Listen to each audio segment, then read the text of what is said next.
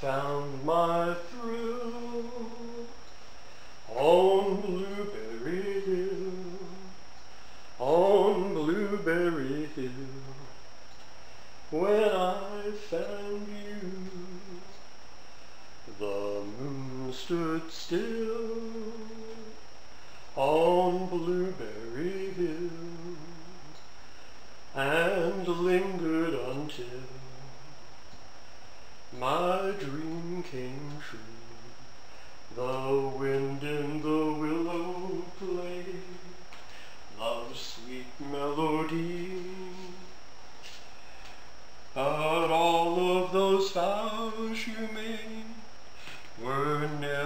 To be. I found my thrill on Blueberry Hill. Well, today we are going to make upside down berry cobbler and I'm going to use, well actually these are Saskatoon berries, but they're quite similar in look to blueberries. They are not similar in taste, but quite similar in look. But this upside down berry cobbler, you can use any kind of berry you'd like other than maybe strawberries. But blackberries, loganberries, raspberries, uh, blueberries, almost any kind of berry like that will do. So, bumbleberries, I think, are another one, um, or a mixture thereof. So let's get to it and make our blueberry cobbler. The first thing you want to do is preheat your oven to 350 degrees Fahrenheit, which I have already done, and grease a 9x9 Pyrex or oven-proof dish. Now I'm going to tilt the camera down so you can see what's happening on the counter here as we go about preparing this. this is a very easy to make recipe and uh, you'll find quite quickly you could anybody can do this one.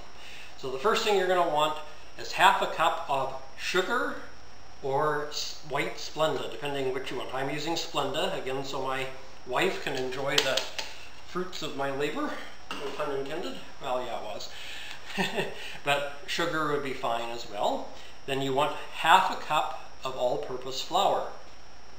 You can see how carefully I'm placing this in the bowl. Then you need a teaspoon, one teaspoon of baking powder. Remember that baking powder. So one teaspoon baking powder. And a quarter of a teaspoon of salt. And that is the that's it for your dry ingredients. So then take your whisk or whatever you're using to stir and just blend that all together really well.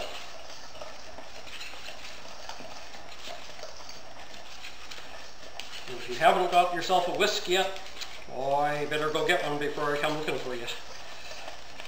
They're probably one of the handiest kitchen tools to have. That and a fork. A bowl might be helpful too, although I guess if you were really desperate you could use the kitchen sink, but I wouldn't recommend it. A saucepan would work if you didn't have a bowl, but uh, anyway, just get those well blended. Don't need the whisk anymore.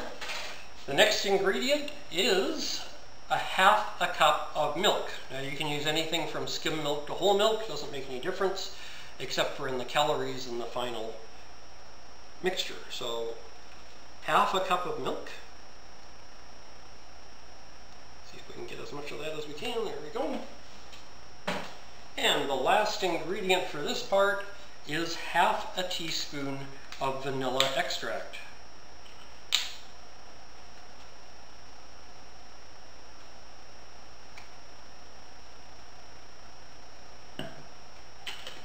That's it. And now we take our trusty fork and we mix that all together. Now this will make about enough to serve, well, depends how big serving. Well, as I was saying before my batteries died and rudely interrupted, you want to mix that all together. And then once it's mixed together, get your spatula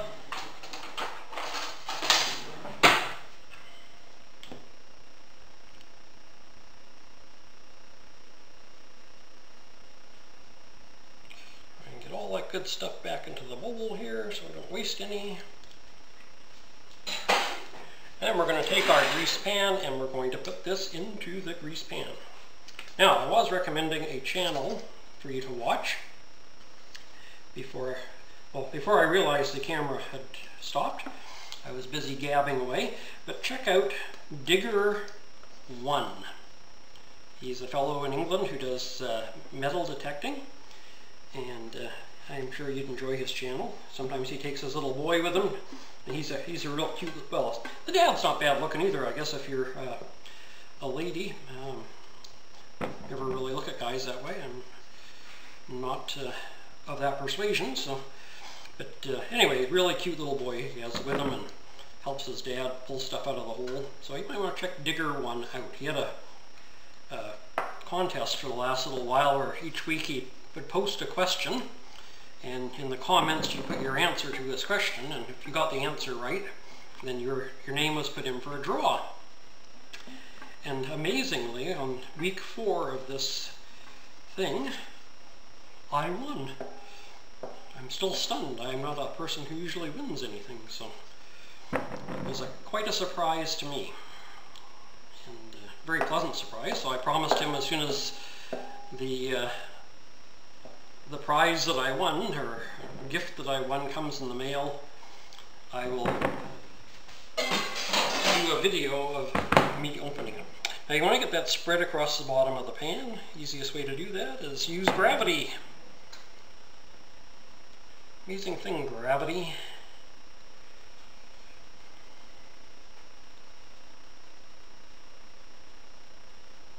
So once you've got that spread around in the bottom of your pan, fairly evenly. You might have to spread it around a little bit with a spatula just to make sure it's even so you don't have a fat spot and a thin spot. Once that's done, and again, if I didn't remind you already in this video, which I don't think I did, before you do any cooking, baking, or anything else to do with food prep in your kitchen, well, you know what I'm going to say. Wash your hands. There we go.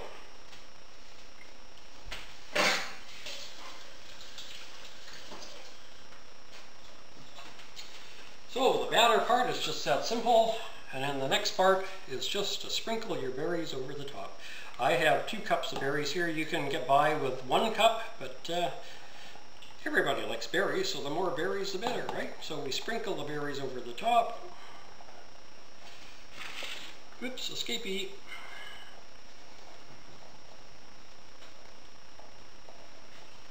There we go. Just kind of move them around a little just to try and get them somewhat even. Put more on the one corner that I'm going to eat. Uh, no, I wouldn't do that. but there you go. You see, so normally a cobbler has the berries on the bottom or apple or whatever on the bottom and the batter on the top, but we're doing an upside down one. So it's now ready to go in the oven. It's just that easy. So here we go folks, into the oven it goes. And we set the timer, I believe, for 40 minutes. Four, whoops, this helps if you hit the timer button first. And it's off to the races. So I will not make you sit here and watch the baking process for 40 minutes. We will be back when it's ready. Alrighty, take care. I'll see you in about 40 minutes. Alrighty, it's ready to bring out of the oven. 40 minutes later, seems like a few seconds to you. And let's have a look at our lovely upside down cobbler. Well, there it is, all baked and ready to slice up and serve. And uh, I'll hold it up there for you. The berries are on top. Some of them are still loose and rolling around, as you can see. So if you're the one serving, you kind of move them over onto your piece, right? So you get a few extra berries. But I hope you enjoyed today's recipe. It's uh, very simple, very quick to make. So if you're having company at the last minute and need something to throw together, this will work wonderfully. Um, you can even use frozen berries if you don't have fresh ones. So hope you enjoyed this recipe and we'll give it a try. And until Friday when I do the shoutouts and groaner of the week, take care and God bless.